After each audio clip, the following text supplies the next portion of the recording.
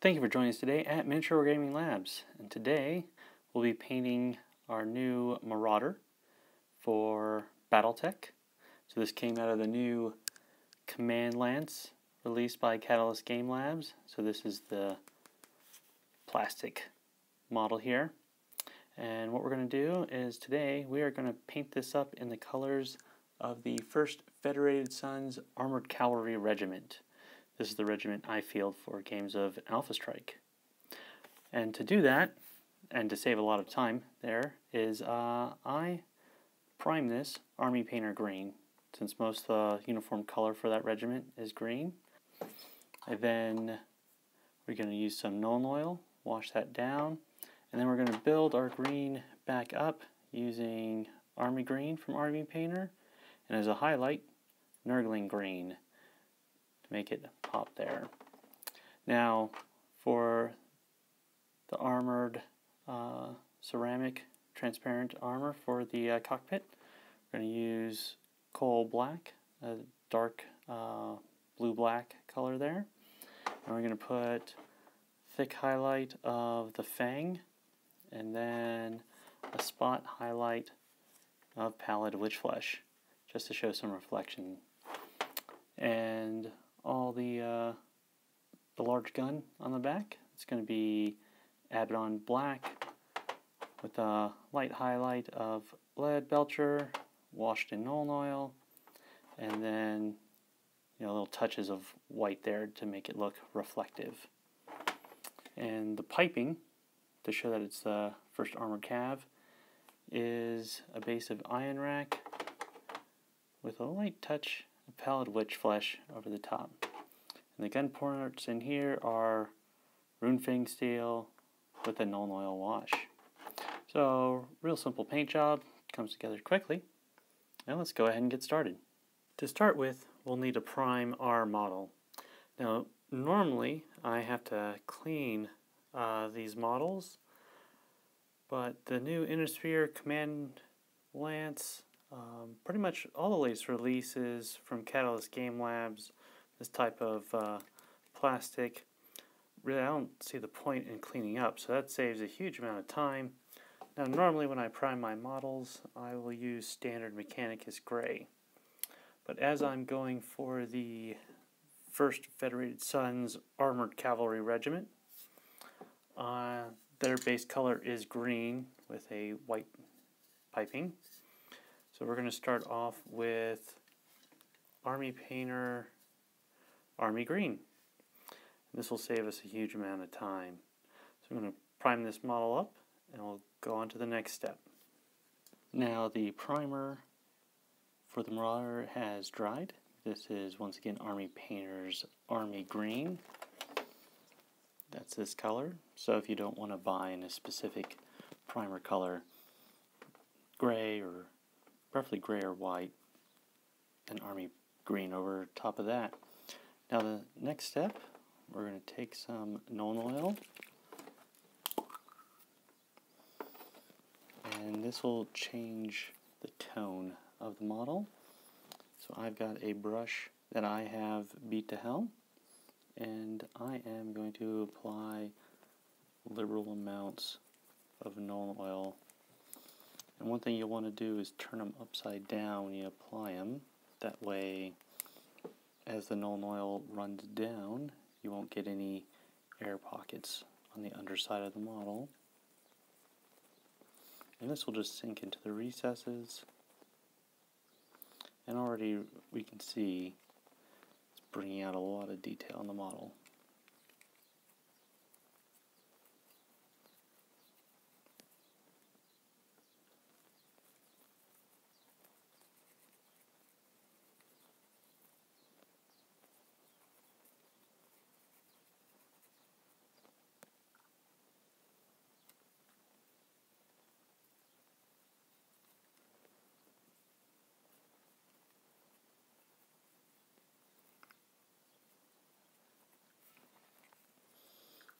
Alright, so this is going to take a while to dry. So we're going to set it to the side. And we'll be back once all this Nuln Oil is dry. and we'll be ready for the next step. Our Nuln Oil has dried now. You can see it's really changed, darkened down the tone of the Army Painter Green, given a drab look, gone into all the recesses. Now, what I've done is I've taken some, once again, Army Green, squeeze some out on the palette, and I'm going to take my small dry brush. I'm going to take a little bit of paint, and we're going to brush most of that off.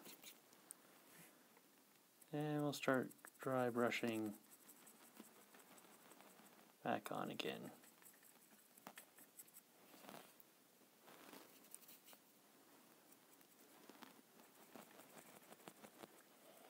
And this will just catch to the raised surfaces.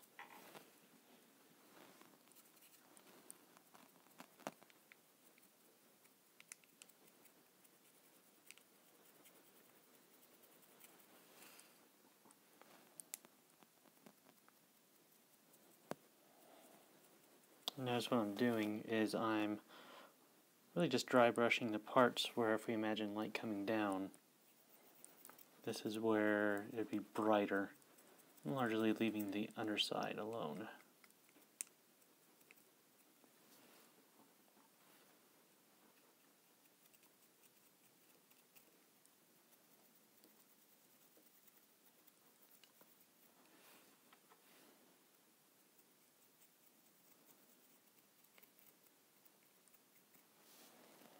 I'll keep going around doing that until we're happy with where the color's at. Alright, so I layered on some of my Army Painter Green. I'm going to do a final dry brush on here. I'm going to take some Nurgling Green, so really light green. just get a touch of paint.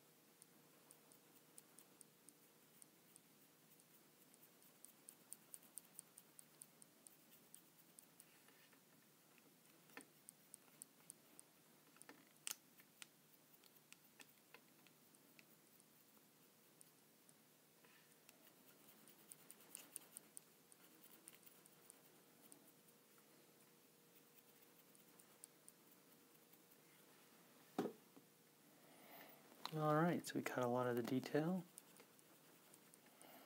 on there. And just for good measure,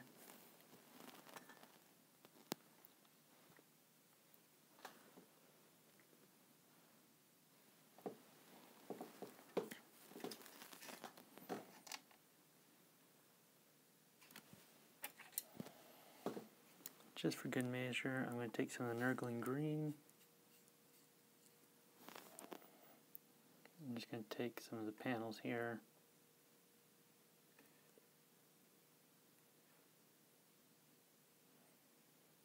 and little light streaks.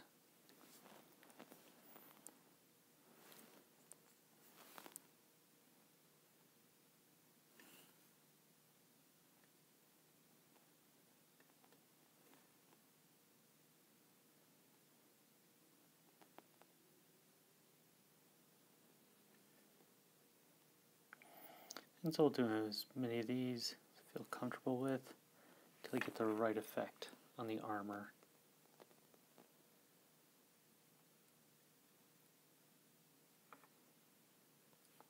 Primarily just focusing on where the light would touch.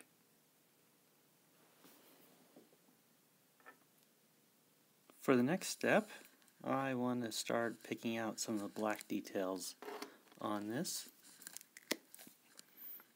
So I'm going to take my Abaddon Black. And I'm going to start working on the primary weapon system.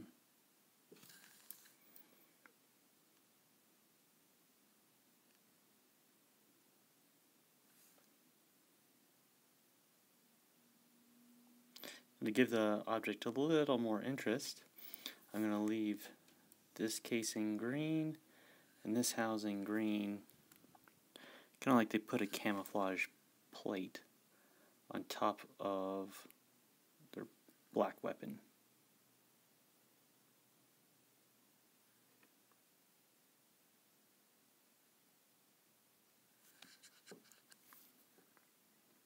Now we're at that point that anytime you feel like stopping, it'd probably be a good time.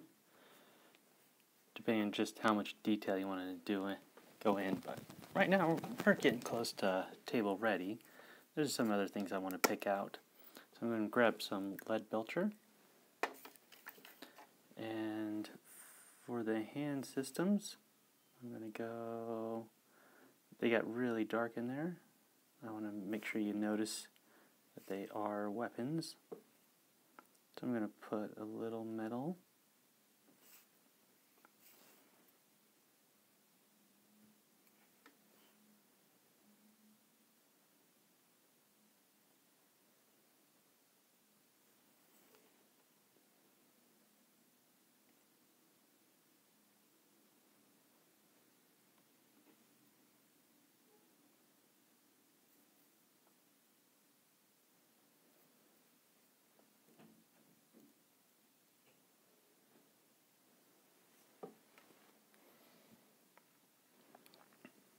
Alright, now I'm going to work on the transparent armor of the cockpit. Notice I didn't say cockpit glass because cockpits don't use glass. They use what we call transparent armor because glass breaks and fractures. Transparent armor can stand up to a, a round. So we're going to take some coal black now this is similar to Games Workshop's Incubi, which is uh, basically a black with a hint of blue. What we're going to do there is just take a little bit of this. And this will make, this type of black will make it uh, stand out as a little bit different from the Abaddon black of the weapon system near it. That way you can look at it and say, that's a little bit different. So it's not too matchy-matchy, but black would actually work fine too. Whatever you have on hand, feel free to use it.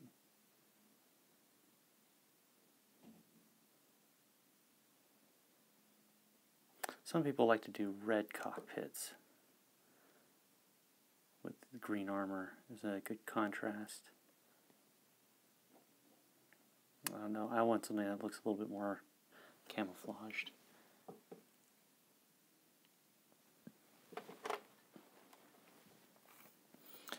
But what we'll do next is we want a little bit of reflection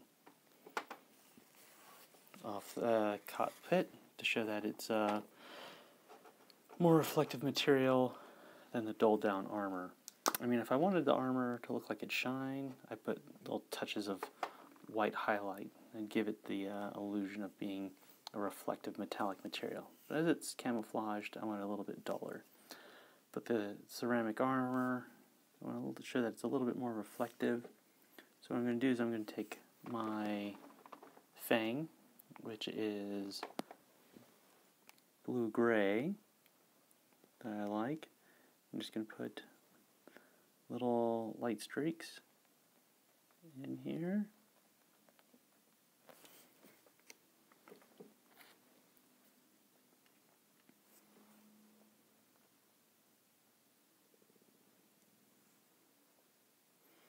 Show where the light's pooling and reflecting.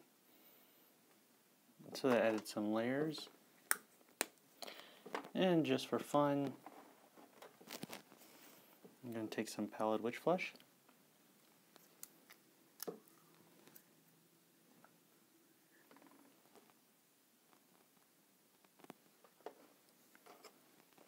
And I'm just going to go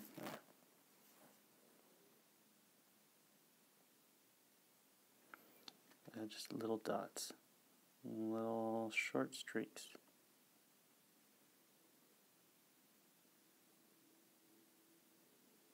make sure they run parallel to each other.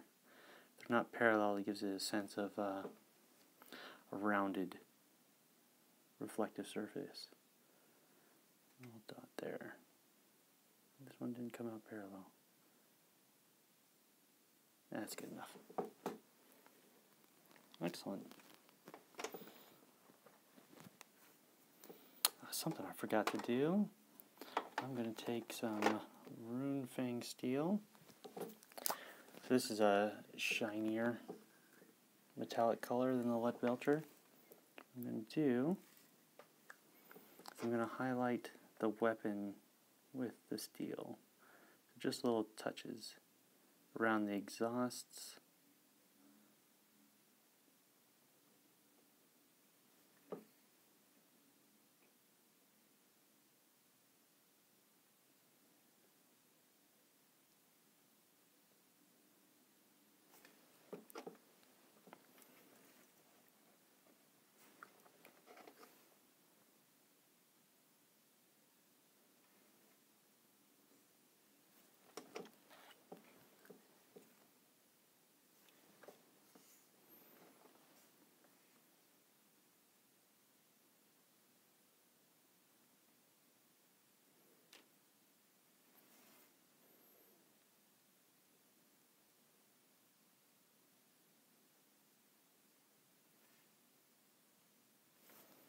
There we go, that's just a little touch there. Then what I'm going to do is, that'll serve my highlight for the black, so for the weapon system. Now I'm going to go back to my Nuln Oil.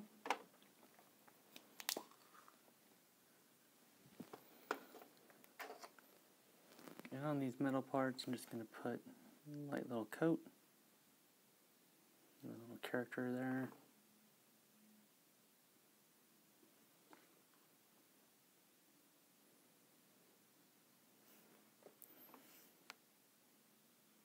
And to dull down the silver. I want to give it the look of, you know, painted metal with the, some reflectivity.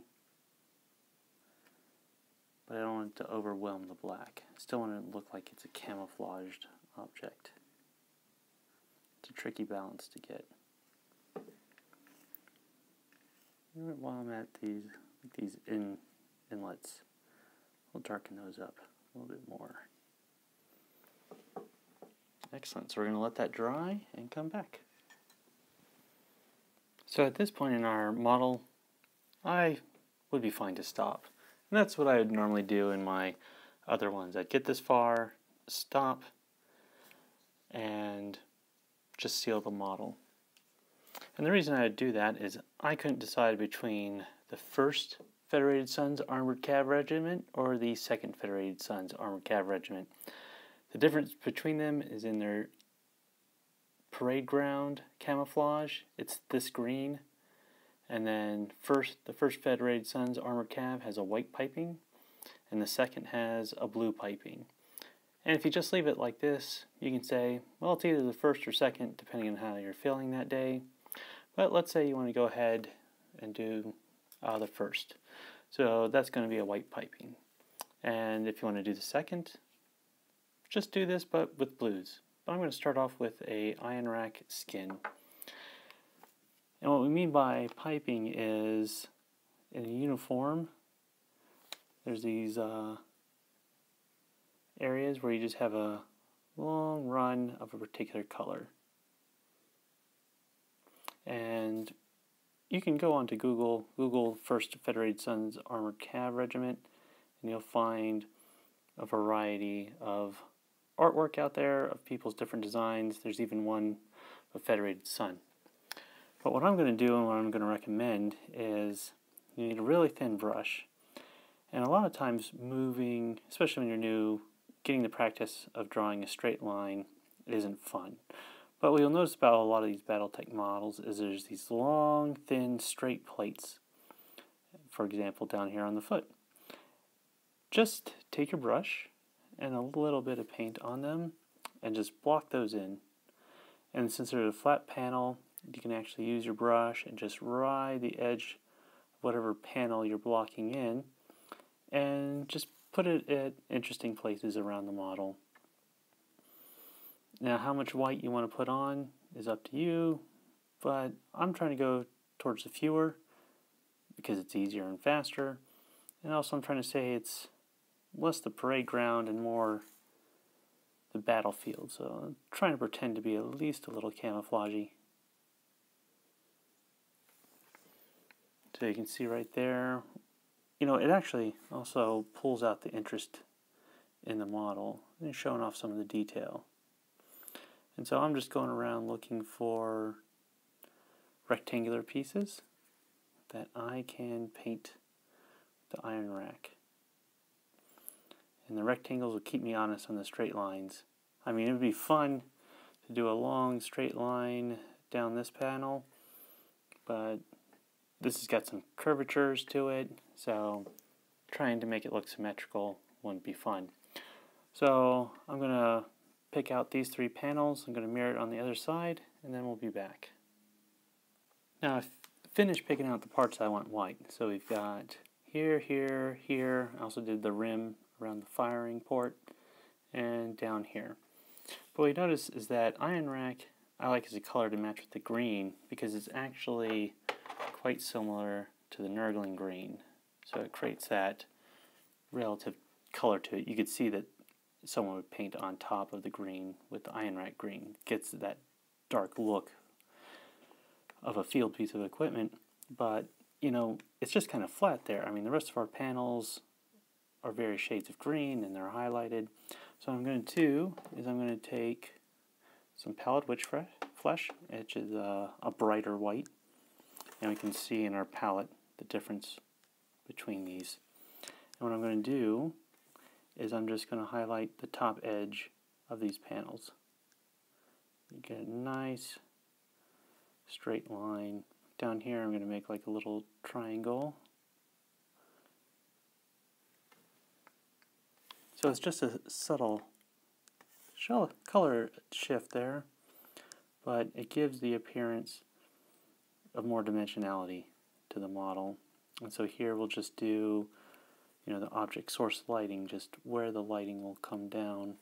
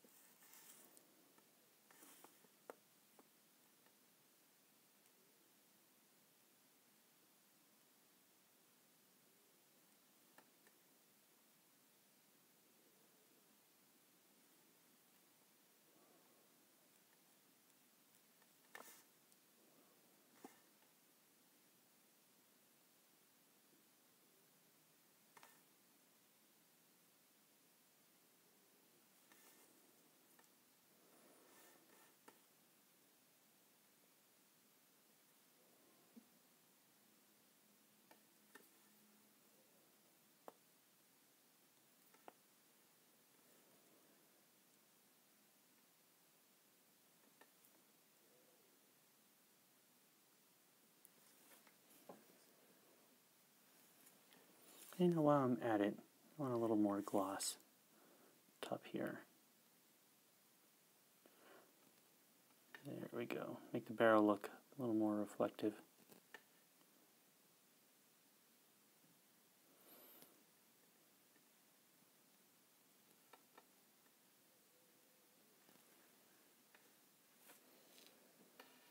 So there we go. That's going to be my Marauder, part of my command lance for the 1st Armored Cav Regiment, Federated Suns. Well, thank you for joining us at Miniature Wargaming Labs, and we'll see you next time.